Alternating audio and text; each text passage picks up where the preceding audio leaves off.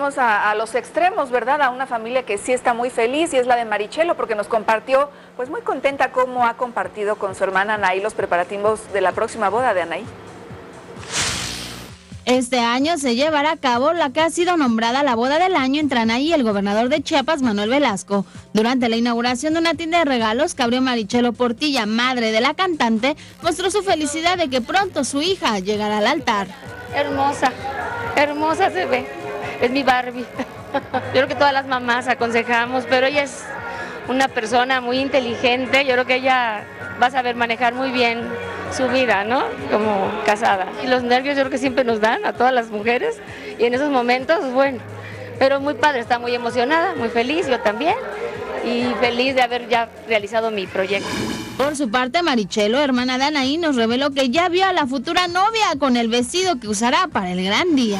Va muy bien, mi hermana está muy contenta. Mira, Gus, te voy a platicar algo para que no digas que nunca te digo nada.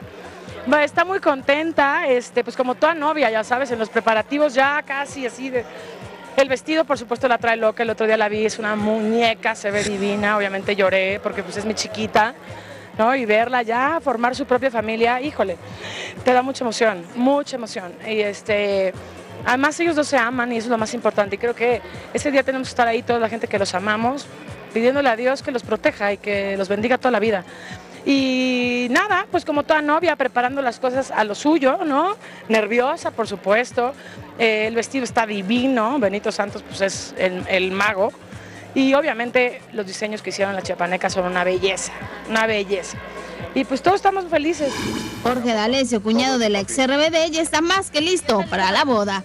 Estoy listísimo, listísimo.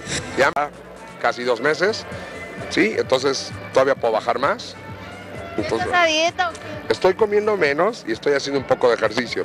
La verdad es que con los shows, yo los shows bajo mucho de peso, o sea, de verdad, hacemos como tres o cuatro shows a la semana y les, son dos horas de show y yo sí acabo empapado.